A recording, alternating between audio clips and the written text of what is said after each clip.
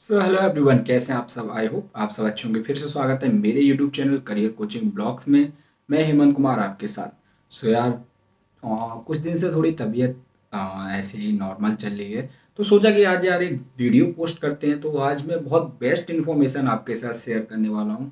आज हम बात करने वाले हैं कौन सा वर्क अच्छा रहता है बैंकिंग सेक्टर में? ऑपरेशन वर्क और रिटेल बैंकिंग वर्क ऑपरेशन हो गया आपका, वो मैं आज आपको पार्ट डिवाइड करने वाला हूँ। और उसके साथ साथ हम रिटेल बैंकिंग में बात करने वाले हैं। रिटेल बैंकिंग से मीन्स आपका सेल्स से रिलेटेड तो ऑपरेशन वर्क बेस्ट रहता है या सेल्स वर्क बेस्ट रहता है? डिवाइड कर लेंगे हम दो चीज़ों को, ठीक है?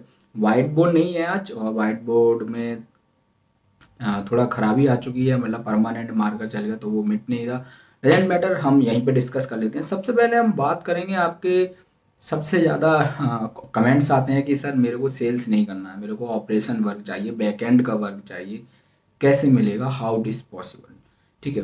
तो सबसे पहले मैं डिफ्रेंशिएट इसलिए करना चाहता हूँ कि, क्योंकि बहुत से लोग कन्फ्यूज़ हैं। उनको लगता है sales is tough I know sales is tough but operation work is not easy कोई भी काम आपका यहाँ पे ईजी नहीं है। कोई भी काम में आपको रिलैक्सेशन नहीं है कोई भी काम बिना टारगेट प्रेशर के नहीं है।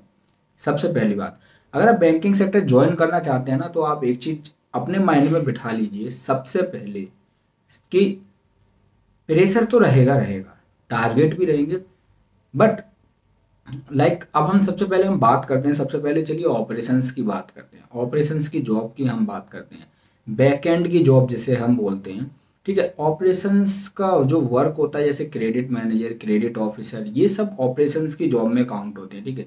बैक एंड का वर्क जिसमें आपको सेल्स ना करनी पड़े, ठीक है, वो आपका हो गया ऑपरेशंस की जॉब कोई आपका फाइल्स वगैरह आ गई फाइल्स वगैरह पे काम करना, ठीक है, और आपका एप्लीकेशंस वगैरह पे काम करना, ठीक है तो जहाँ पे सेल्स नहीं है, वो ऑपरेशन वर्क है बैक एंड का वर्क है, चाहे वो फिर आईटी से रिलेटेड हो, चाहे वो आपका लोन से रिलेटेड हो, कोई भी लोन वगैरह या कोई भी अदर एच आर से रिलेटेड हो, कोई भी अदर सिस्टम से रिलेटेड हो, जहाँ सेल्स नहीं है, वो ऑपरेशंस का काम है। ऑपरेशन से काम में सबसे ज़्यादा बेनिफिट ये रहता है, ठीक है? एक तो आपको सेल्स नहीं करना पड़ता तो सेल्स का टारगेट प्रेशर बिल्कुल नहीं है।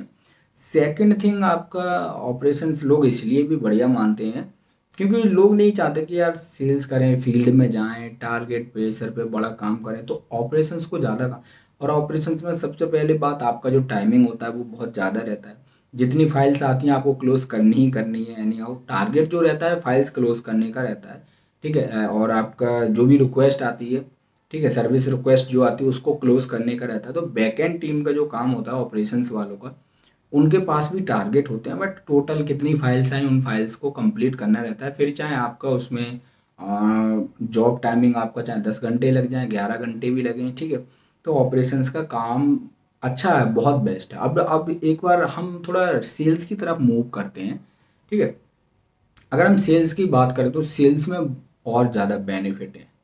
टारगेट सबसे ज़्यादा है प्रेशर है, ठीक है?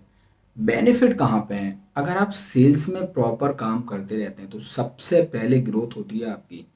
ग्रोथ के साथ साथ आप कहीं स्विच करके जाते हैं तो सैलरी पैकेज और हाइक और सिलेक्शन जल्दी होता है, ठीक है? थर्ड आपका अगर आप सेल्स में लगे हुए हैं तो कोई भी कंपनी आपको उठा लेती है। बेसिक रिटेल बैंकिंग के लिए उठाएगी, ठीक है? और सबसे मोस्ट अच्छी जो थिंग्स है ना, जो सेल्स करते हैं, ठीक है? सेल्स में एक चीज़ का ज़्यादा बेनिफिट है सेल्स आपके माइंड को बिल्कुल फिक्स रखती है। संतुलन जिसे बोलते हैं ना मेंटलिटी जो आपकी होती है ना, इसको फिक्स रखती है, ठीक है? टारगेट जितना आपके ऊपर आएगा, जितना प्रेशर आएगा ना, आपका माइंड उतना ही डायरेक्शन में काम करेगा, ठीक है? ऑपरेशंस में क्या रहता है ना, ऑपरेशंस में आपका माइंड जो है ना, इधर उधर भी डाइवर्ट हो जाता है, ठीक है? सेल्स में नहीं होता। फ़ील्ड में अगर आप दौड़ रहे हैं तो आप एक चीज़ नोटिस कीजिएगा फ़ील्ड में अगर आप दौड़ रहे हैं तो सबसे पहले तो आपको एक एक्सपीरियंस काउंट होगा नए लोगों से मिलने का, कि एक्चुअली में लोग बैंक के बारे में क्या सोचते हैं? एक्चुअली में लोग सेल्स के बारे में क्या सोचते हैं? मुझे कैसा लगता है? बैंक का एम्प्लॉय होकर फ़ील्ड में जाना। एक्सपीरियंस नए लोगों से मिलेगा उनकी थिंकिंग को कंज्यूम करने का, ये सारी चीज़ें हमें मिलती हैं ना फ़ील्ड में जाने से। ठीक है? और वहीं आप अगर वर्चुअली काम कर रहे हैं तो आपको कॉल वगैरह से कस्टमर से फीडबैक मिलता है। पता चलता है कि यार कस्टमर को क्या प्रॉब्लम है? कस्टमर को किस चीज़ की नीड है? ठीक है? सेल्स में बहुत कुछ सीखते हैं हम, बहुत कुछ। सेल्स में इतना सीखने के लिए कि आप सीख ही नहीं पाएँगे प्रॉपर सेल्स में सीखने के लिए प्रोडक्ट की नॉलेज बहुत ज़रूरी है।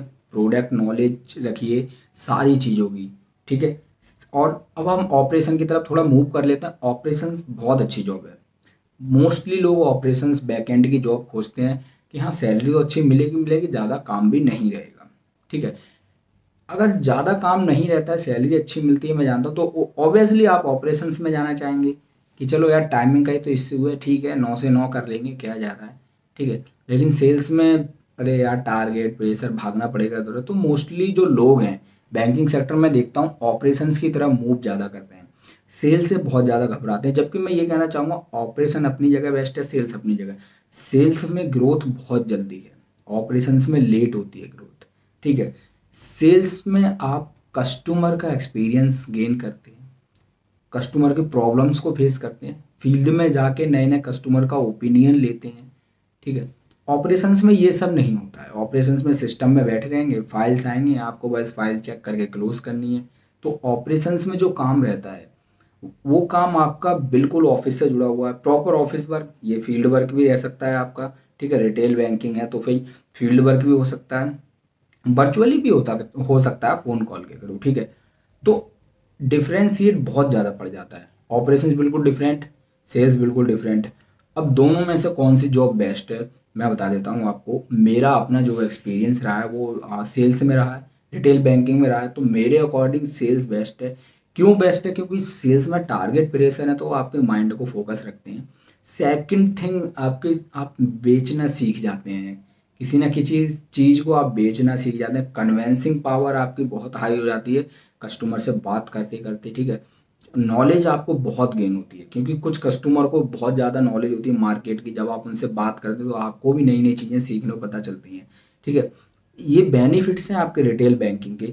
सेकंड थिंग जब आप कस्टमर विज़िट पे जाते हो, ठीक है? अगर आप ब्रांच बैंकिंग में हो, आप कस्टमर विज़िट पे गए तो आप खुद सोचिए कि कस्टमर से जब आप मिलते हैं तो दस चीज़ें आप कस्टमर से नई सीखते हैं और दस चीज़ें आप नई कस्टमर को सिखा के आते हैं। तो कहीं ना कहीं जो हमारा कनेक्शन कस्टमर से रियलिटी में बनता है, वो हमारे करेक्टर को, हमें बिहेवियर को शो करता है और कस्टमर हमारे हमें याद रखते हैं। ऑपरेशंस में सारी चीज़ें बैक एंड में होंगी। ना आपके ऑपरेशंस में फेस वैल्यू रहती है राइट ना आपके ऑपरेशंस में कोई कस्टमर आपको जानता है बैक एंड का सारा काम कर रहे हैं। तो कभी फ्यूचर में इन केस अगर आपको अपनी वैल्यू बढ़ानी पड़ी तो आपको एक सेल्स मैन एक फ़ील्ड जो रिटेल बैंकिंग बंदा काम करता है ना, उसकी तरह रात दिन फिर मेहनत करनी पड़ जाएगी। मेरे अकॉर्डिंग ऑपरेशन वर्क उनके लिए बेस्ट है जो बिल्कुल प्रॉपर ऑफ़िस वर्क चाहते हैं, जो कंफर्टेबल जोन में रहना चाहते हैं। लेकिन जो अनकंफर्टेबल जोन जोन में रहना चाहते हैं ना, उनके लिए मेरे एक्सपीरियंस से और मेरी नॉलेज के अकॉर्डिंग सेल्स इज़ बेस्ट हाँ टारगेट रहेगा, सबसे पहले याद रखिए प्रेशर भी रहेगा। ठीक है, आपके बॉस वगैरह भी सुना सकते हैं। But best beautiful thing is growth growth बहुत जल्दी है सेल्स में। बहुत जल्दी। किसी भी कंपनी में जाएँगे, आप सेल्स में रिटेल में हैं कंपनी तुरंत उठा लेगी, अच्छी हाइक अच्छी सैलरी देगी। ठीक है? सेकंड थिंग आप अगर ऑपरेशंस में टाइम मैनेजमेंट का थोड़ा प्रॉब्लम रह सकता है। ठीक है? जितनी फाइल्स आती हैं क्लोज करनी करनी है। बैकेंड में काम करेंगे ऑफ़िस में प्रॉपर एसी में कंफर्टेबल जोन में आ जाएँगे। ठीक है? यहाँ आपके कस्टमर से कोई बात नहीं होगी। कोई रोल ही नहीं है कस्टमर से बात करने का यहाँ पे। ठीक है? एक्सपीरियंस आप ऑपरेशंस का गेन करेंगे तो आप कस्टमर का ओपिनियन को कभी नहीं समझ पाएँगे। बहुत सारी चीज़ें। और अगर आपको फ्यूचर में जाके आप कभी रिज़ाइन देते हैं और सपोज़ करिए ऑपरेशंस में नहीं मिले, आप बैंकिंग सेक्टर से आ रहे हैं रिटेल में मिल गई तो आपको बड़ा प्रॉब्लम हो जाती है।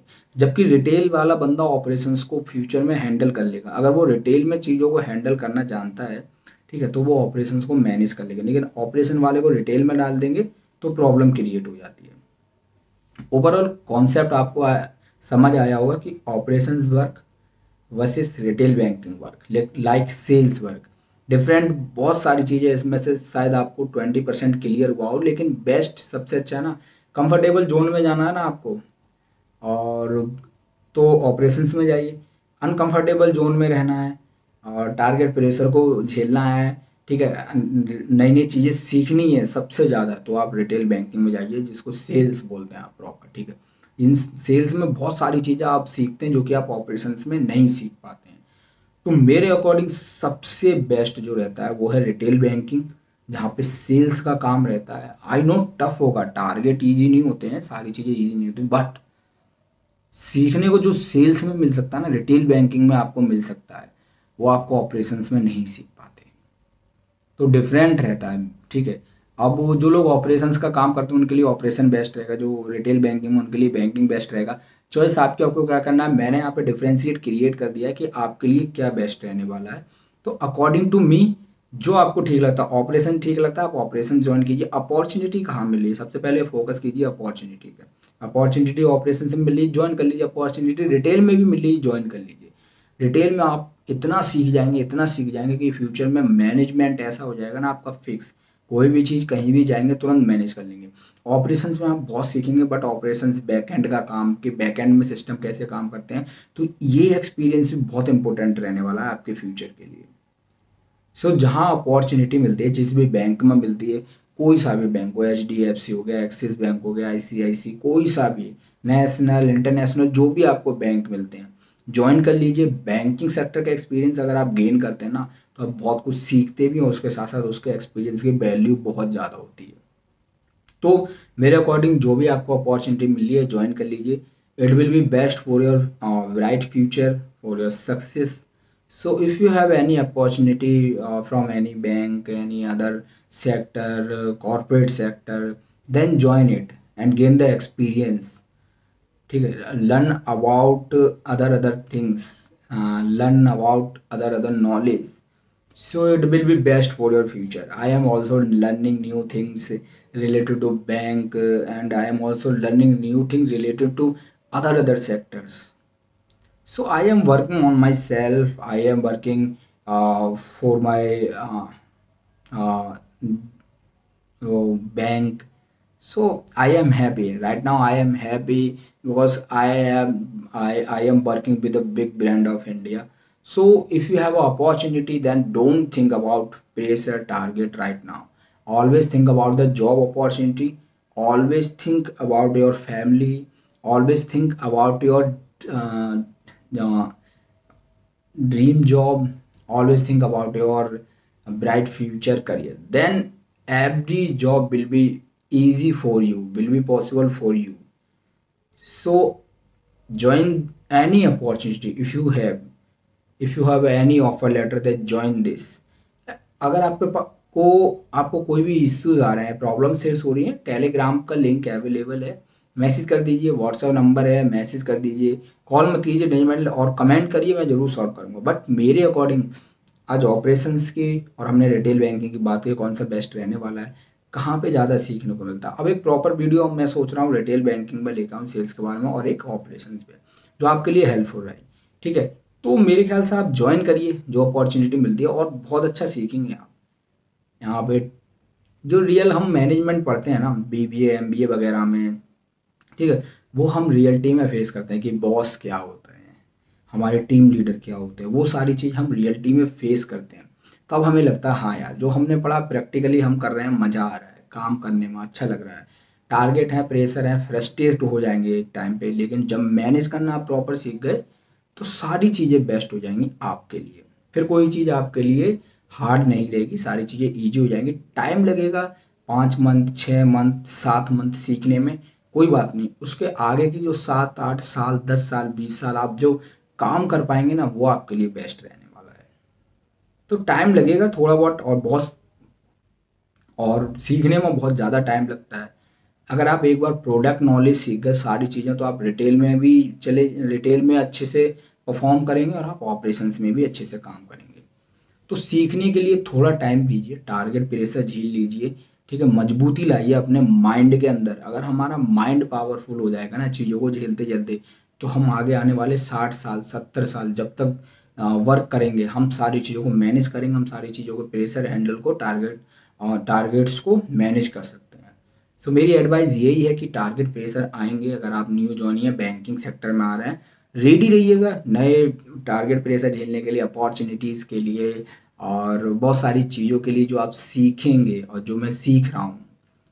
तो ये हमारे फ्यूचर के लिए बहुत अच्छी आगे आने वाले बहुत साल एक उसके साथ साथ एक चीज़ और ज़्यादा लंबी वीडियो होने वाली है, मैं समझ रहा हूँ, पंद्रह मिनट हो गए। बोलने के लिए बहुत कुछ है, बट एक वीडियो में हम एक्सप्लेन नहीं कर सकते। जॉब के साथ साथ, जो भी आपका ड्रीम्स है दोस्त टाइम निकाल के उस पर ज़रूर काम करना क्योंकि प्रॉपर जॉब में आप लगे रहे, ठीक है, और आपने अपने ड्रीम्स पर काम नहीं किया तो आपको एक दिन बहुत रिग्रेट फील होगा, बहुत रोएँगे भी आप, पर वहाँ पे कोई ऑप्शन नहीं होगा मूव करने का। तो अपने ड्रीम्स पे काम करिए। किसी को डांस करना पसंद है डांस पे काम करिए। सिंगिंग करना पसंद है, करिए। बॉक्सिंग कुश्ती, जो भी आपको चाहिए। यूट्यूब पे काम करना ब्लॉगिंग करना बुक्स पढ़ना, लिखना, जो भी तो वो सारी हॉबीज़ अपनी कंटिन्यू रखिएगा। ड्रीम्स अपने कंटिन्यू रखिए और उसके साथ साथ जॉब रखिए बैक एंड में ताकि आपके लिए ईजी हो जाए सर्वाइव करना हेल्पफुल रहना। यहाँ भी एक्सपीरियंस आएगा, वहाँ भी आप सीखेंगे तो दोनों चीज़ें बेस्ट रहेंगी आपके लिए। टाइम मैनेजमेंट बहुत इंपॉर्टेंट है दोस्त। वो सीख लीजिए भाई, ठीक है? सो थैंक यू यार। All the best best of luck for your future ऐसे ही आप लगे रहिए, कोई भी गाइडेंस की ज़रूरत है, मैं करूँगा। जो न्यू ज्वाइनीज हैं, जिनको गाइडेंस चाहिए, चलिए मैं दे दूँगा। जो न्यू स्टूडेंट्स हैं, जिनको एजुकेशन से रिलेटेड गाइडेंस चाहिए, मैं दे दूँगा। कॉलेज वगैरह कोर्स वगैरह फ्यूचर के लिए सजेशंस वगैरह, जो भी चाहिए, मैं हूँ। मेरी वीडियो ज़्यादा मोटिवेशन वाली नहीं होती, ज़्यादा एडिटिंग वाली नहीं होती।